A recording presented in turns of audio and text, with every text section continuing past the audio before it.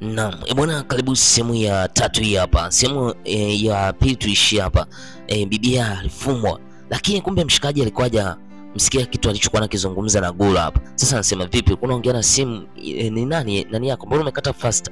Bibi hapa ananying'ata ng'ata, anasema ah, unajua ni ndugu yangu. Basi e, Morris akasema basi tutaonana siku nyingine, mimi ngoja niende kazini kwa sababu e, simu wamenipigia pale, kuna kuna ugeni kazini. Bibi akasema basi sawa, tutaonana siku nyingine. Morris akasema ah, sawa. Bibi anatabasamu tu. Yeah, baada ya Maurice kuondoka, bibi anafurahia balance, nitakula bata. Huyu mwanaume ni mzuri, yaani sijui ameanza kumpenda. Yeye ametuma mission, lakini inaonekana wazi ameanza kumpenda. Haya bwana, ngoma inatuleta huku kwa jamaa ofisini, tunakutana na Maurice. sasa. Eh, leo ni siku nyingine, anakuja sekretari wake hapa, ameleta barua eh, dokumenti ambazo zimetoka kwenye makampuni mengine. Ana- Anasema saini hapa, lakini wakati anataka saini, tunamwona hapa Gulu anapiga chafya. Hasa huu ni ugonjwa ambao walikuwa nao wote wawili tangu watoto aisee. Sasa Gulu anasema najisikia vibaya tu. Mshikaji anasema ah, unajisikia vibaya vipi? Hii chafya umeanza nayo toka lini? Gulu anasema ni kitambo kidogo. Jamaa anashtuka eh, naye anakohoa napiga chafya za kutosha, sijui ni corona. Anasema wewe, hebu toka hapa, nenda kajitibu bwana, unanichafuria hali ya hewa. Sasa jamaa akashtuka akasema, hii nini? Mbona sielewi? Huyu naye ana ugonjwa kama kwangu. Da, poa, kapotezea. Haya, Ngome inatuleta huku kwa mshikaji akiwa anaongea na simu hapa, inaonekana wazi anampigia Gulu ambaye ni Avila. Anasema sasa, kabla hajaendelea, naye ugonjwa nao eh, mara ameambukizwa, sijui anao, anakoa naye yani anapiga simu huku anapiga chafya za kutosha se ameanza kupiga chafya kama za bibie pale. Anasema eh, najisikia vibaya samani nitakupigia baadaye kidogo. Sawa. Yeah basi ngome inatupeleka huko ofisini tena siku nyingine. Eh, secretary anakuja hapa kuchukua zile e, document. Kama mshikaji amesha saini au vipi?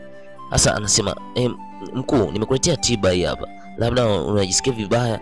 Eh, hii huwa anaitumia sana. Jamaa anashangaa. Sasa mbona kama anafanya vitendo kama vya yule bibia wa zamani huyu. Anasema hapo "Uh, nje kuna wageni wako, kwa unatakiwa upate tiba kwanza ndio waje. Sawa? Anasema we, hebu sikiliza, hebu ondoka. Kabla hajazungumza anapiga chafya ase. Kwa gulo, naye anatamani kupiga chafya lakini inashindikana. Ghafla anapiga chafya. Jamaa anashangaa. Huyu bibie vipi? Mbona anafanana na yule wa utotoni? Bibie hapa anasema, e, mkuu, eh, pokea tiba hii." Basi Morris anasema hapana, nitajitibu tu, wewe usijali, wewe nenda zako. Bibi anasema eh, jitibu mapema. Morris anasema wewe nenda zako bwana, mimi kuna dawa naitumia. Na anapiga chafya tena, yaani chafya zimekuwa nyingi sana. Basi mshikaji akasema eh, ondoka zako. Bibi alitimuliwa iseuzi amini, alimletea dawa mshikaji hapo, labda ajitibu, kwa sababu yeye anafahamu hii dawa ndio ilikuwa inawatibu wakati eh, wadogo. Hai bwana, ngome inatuleta huku nyumbani, bibi akiwa anajimeka hapo hapo. Avila anakuja anasema, she eh, habari ya kazini huko unaendeleaje? Eh, bibi anasema mimi naendelea poa tu, wewe usijali. Avila anasema sasa, unajua bwana, kuna mambo mengi sana yananichosha, hususan wewe unaniambia habari za Morris, mimi sasa hivi sihitaji tena. Basi bibi hapa akasema, yani wewe rafiki yangu, mimi nataka kila kitu ufanye juu juu chini, Morris umpate, sawa? Sitaki mwanamke mwingine ampate. E, mimi nakutuma wewe ukaniwakilisha. Basi bibi anasema ah, sawa, lakini kuna vitu vingi sana ambavyo ananiuliza vya utotoni, mimi nashindwa kumjibu. Basi hapa jamaa bibi anasema hey, hata kama nashindwa kumjibu wewe kuwa naye hivyo hivyo. Avila anasema Gulo, Gulo anasema nini shida Vila, nimeshakwambia wewe utakuwa na mjibu atakavyokuuliza wewe mjibu vyovyote vile, kwani watu hawapotezi kumbukumbu. Uh, Gulo sawa, basi haina shida wanakubaliana tena kuendelea huu mchezo wa kumchezea mshikaji pale. Sasa leo tena eh, muda wa kurudi kutoka kazini, tunamwona bibi anasubiri taksi hapa, maana kuna gari linakuja mbele yake linasimama. Mzee kushusha kioo ni mshikaji hapa. Femi anasema habari yako kule unaelekea wapi? Kule anasema naelekea pande za mbele hapo. Vipi, nikupe lift? Hebu njoo kwanza ukupate lift. Gulo anasema hapana, siwezi kupata lift, kuna mtu anamsubiri hapo, dereva taksi wangu. Femi anasema hapana bwana, mimi leo ndakuwa dereva taksi wako, twende tu. Ule akasema ah, sawa basi nakuja. Femi akasema ah, njoo ingia kwenye gari bwana. Basi bibi akazama kwenye ndinga jamaa akamleta moja kwa moja mpaka nyumbani ambako naishi Gulo, alafu kamwambia "Ah, asante sana Femi. Gulo anamwambia hivi, anasema mimi naishi kwenye nyumba hiyo hapo. Sasa mshikaji Femi anasema ah, nyumba nzuri. Gulo anasema asante. E, unajua wazazi wangu walifariki, kwa hiyo iliachiwa nyumba. Basi Femi anasema sawa, ninashukuru sana kupafahamu hapo kwako, asante. Haya bwana, mchizi hapa taratibu ameanza kuvutiwa na huyu bibie. Gulu anamwaga anasema bai. Basi Femi naye anamwaga. Ndo hivyo bwana, mapenzi waga anaanza taratibu mzee. Upendo wenyewe ndo huu hapa. Sasa wakati Gulu anaingia e, anakutana na Avila. Avila anasema vipi, huo nani? Basi e, Gulu anasema huyu ni mfanyakazi mwenzangu, alinipatia lift tu. Ah, Avila amini. Anajua wazi kabisa wao inawezekana wakawa wapenzi. Anamkimbilia anasema, jamani, mi najua huyu atakuwa amekupenda, lazima tu, haiwezekana kusindikiza hadi nyumbani hapa. Basi bwana, usiku ulivyofika, tunakutana na Avila hapa akiwa anasoma zake vitabu, anasoma Days Baby, yani mapenzi ya siku ashe, e, mapenzi ya kitoto. Hey, mapenzi ya kitoto ya siku, ndo kitabu hicho kinaitwa. Kwa hiyo hapa anasema jamani, ah, aise, lakini akiwa hapa kumbukumbu zinaanza kumpelekea kule kwa Morris. Unajua bwana, na yeye alishaanza kumpenda ukweli, japo alitumwa mission tu, rafiki yake amemtuma, lakini yeye ameanza kuwaza mambo ya ajabu. Anasema jamani, Morris, unajua Morris mwanaume ana kifua afu ameumbika, yani mawazo kibao yameanza kumjaa kichwani kwake. Sie anajiuliza, anasema hiki nini, mbona sielewi? Mm, aise, yule mwanaume oh, sasa lazima nifanye juu chini nimpate kama vipi. Sasa Avila ameenda kwenye chumba cha Gulo, amekuja kumchana Gulo hapa, anasema aise, hivi huyu mwanaume ambaye anakupenda kwa nini usimpendi na wewe? Gulo anasema mimi siwezi kumpenda, mimi bado niko na mwanaume yule yule Morris. Lakini sasa hapa bibia anasema Morris mwenyewe alikukataa siku ya kwanza tu. Gulo anasema hapana, hatujalishi kwa sababu mimi nina kovu, nimebadilika, labda hajanitambua bado. Sasa bibi hapa anasema we bwana, endelea kuwa na wewe hapa aliyekuleta bwana, kwani kuna shida gani? Mbona mwanamume kama mzuri au sijamwona vizuri? Guru anasema siwezi kumwacha mimi, yaani nimwache eti nimwache Morris vipi? Basi akamtupia zake mtu eh, anasema ngoja tulale tu kama vipi. Sasa bidada aliweza kumwomba sana Gulo ampende Femi kwa sababu yeye alishaanza kumpenda Morris mazima. Eh, hataki tena habari za kusema eti atumwe, anataka ajiachie awe free na Morris. Anasema kwa vyovyote vile Morris, lazima tunjinjane tu, yani lazima nikupate mzee, yani lazima unitie vitu e, yaani na hamu na shauku ya kuwa na wewe. Sasa hivi nikionana na wewe nataka unipelekee moto tu kama vipi aisee. Eh, ndo hivyo, lazima tu unipelekee moto e, bwana. Zikuwa ndo e, mawazo ya huyu bidada hapa. Basi bwana, mzigo unatuleta kwa ofisini, tunakutana na Femi pamoja na sekretari huyo hapa Gulo. Sasa Femi anasema hivi, unaonaje hizi document tuzipeleke moja kwa moja kwa mkuu? Sasa wakati akizungumza hapa, mara anakuja ubidada bidada hapa, anasema hivi, bosi wenu nimemkuta na shida na bosi wenu. Sasa Gulo anataka aseme hayupo bwana. Sasa Gulo anashangaa, huyu mbona amekuja bila taarifa yangu, inakuwaje? Basi kila mtu alijiuliza huyu mwanamke ni nani na kwa nini amekuja kwa kufosi hapa.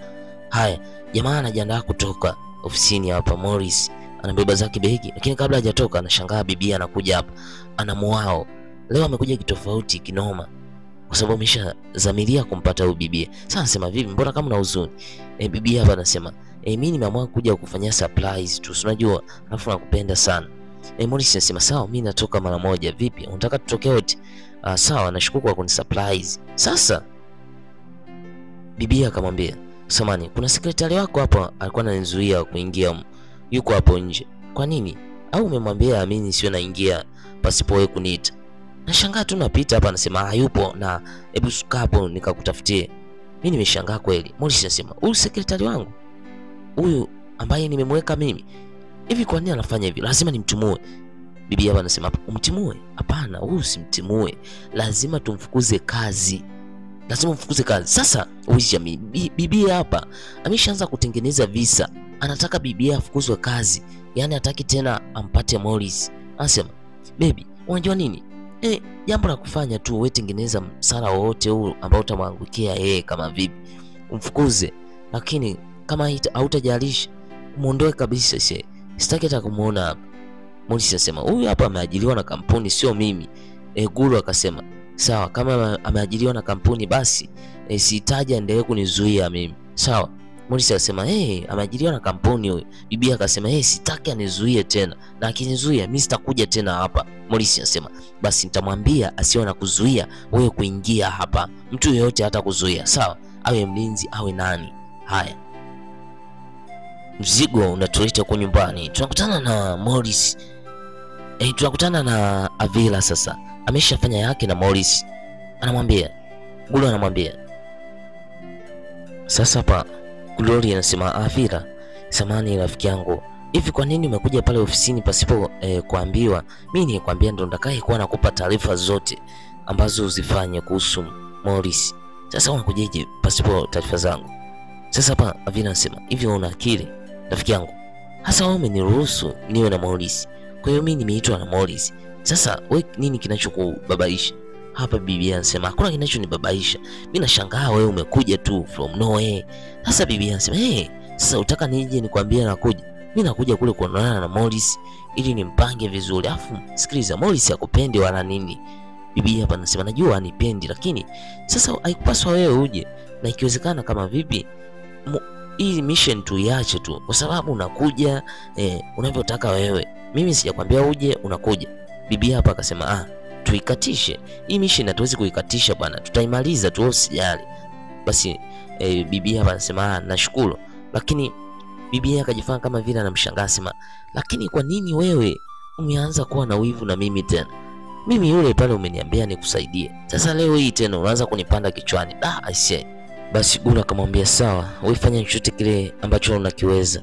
Gulu akacheka tu akasema sawa, ah, nitafanya chochote kile. Sasa asubuhi mapema leo hii e, bosi anampa taarifa kwamba nitakiwa usafiri uende Lagos huko mjini kuna kampuni moja nitakiwa upeleke e, ripoti. Kwa hiyo ninakusii ufanye kwa waredi, kwa sababu ni hii ripoti zimebeba mabilioni ya, ya kampuni sawa.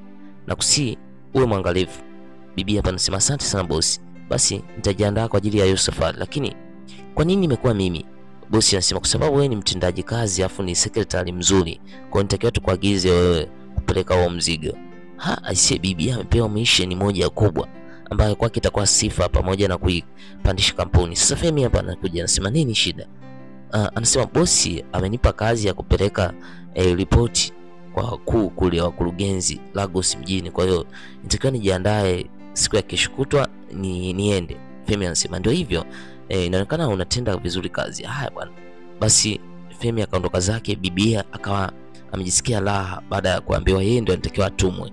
Leo tena mshikaji kama kawaida yuko na Avila. Sasa leo huwezi amini, Avila amepanga kufanya mapenzi na huyu jamaa hapa, maana anamwanza sana. Sasa mshikaji hapa akawa anasema unajua nini, uh, nataka yule sekretari wangu asafiri aende akapeleke ripoti, zipo kwenye draw kule. Kwa hiyo zile ripoti ndo ambazo nitakiwa zipeleke e, na akishazipeleka atapanda cheo na kampuni yetu itakuwa kubwa. Sasa bibi anasema kwa nini usiende mwenyewe, unamtuma yule akipoteza hizo ripoti. Mshikaji anasema hapana, yule ni sekretari mzuri kwetu kwenye kampuni kwa sababu ni mchapakazi. Bibi, bibi hapa wivu umeanza kumshika, anasema eh, bwana, haya sijui itakuwaje. Haya bwana, eh, tukutane sehemu ya nne. Hii sehemu ya tatu tunaishia hapa. Je, bibi alifanya nini mpaka e, kumharibia rafiki yake mission hiyo, au atamwacha? Kwa sababu hapa ameshaanza kum, kumwonea wivu kwamba msimtume huyo ajui chochote kile, lakini Morris akasema si tunamwamini kwenye kampuni. Sasa tukutane sehemu ya nne, itakuwaje?